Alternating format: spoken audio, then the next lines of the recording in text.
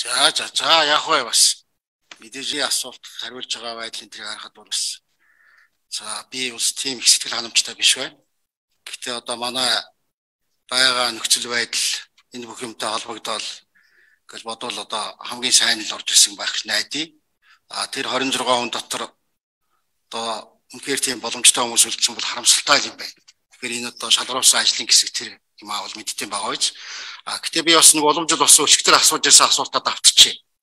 Өчигдөр сахилгын орон дээр асуусан болохоор өнөөдөр бас танаас асуусан дээр баха. Бас хүнийг ядгуурсан болчихно гэж бодож байна. За сахилгын ороо бол боломжийн хүмүүс орж ирсэн байлээ. Мэдээж зэрэг одоо бас миний бодол одоо энэ байнгын хороо энэ бүх юм дээр асуулт хариулт явсны дараа бол бас өөрчлөгдөх байх л та. Хэдхэн асуултаар хүнийг тодорхойлно гэж юу бах вэ? За одоо бид хүн ерөөсөө сүүлийн үед ийм болцоо. Хүн болгоны ард нэг хүнтэй. Одоо тэр зүтгүүлдэг, тавьдаг. Тэр хүнийхээ үгээр явдаг. Би чамайг ажил тавьсан. Ингээд ийм ийм их болсоо. Тэр тусмаа одоо сая бол олон цөөнхөл бид нар ингээл ээлжлээд асуулах гэдэг хахад цөөнх гэхэд одоо алтууыг дарах хөтөрөж байна шүү дээ. Тэгээ ийм үнүүлэхөө олонхын үед та нар томилогдож байна. За энэ дотор бол ганц нэг хүн бол энийг одоо нэгтлээд гараад ирсэн харагдаж байна. Тэр асууж байгаа, хариулж байгаа энэ юмнуудыг харахад бол та бүхэн маань одоо хэний дэмжлэгтэйгээр ямар байдлаар ороод ирвэ? Энийг одоо юу гэж үзэж байна ээ? Би өчигдөр нэг иймэрхүү асуулт асуусан юм аа. Тэгээд бас та нараас асуучих. Тэрийгээ та бүхэн хэлчих. Мэдээж хэрэг одоо бас энэ олон түмэн хараад байж байгаа. Тэгээ та бүхнийг сонсож байгаа шүү дээ. За нэг энэ одоо юу гэж ярих болов цөөхөн үнтэй юм чи бүгд ялгаж салгана.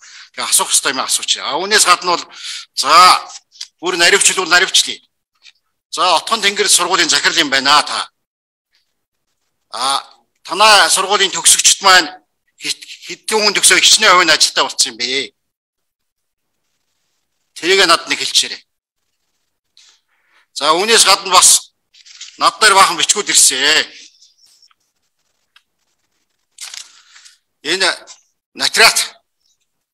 Натраттай холбоотой нэг хүн баг шиг байна. Хэн блэ? Олон чимэггүй, онцгөө. За энэ хүн маань одоо бас хуурамч хүчгээр бүрдүүлсэн ийм хийсэн гэсэн иймд одоо орооцсон байна.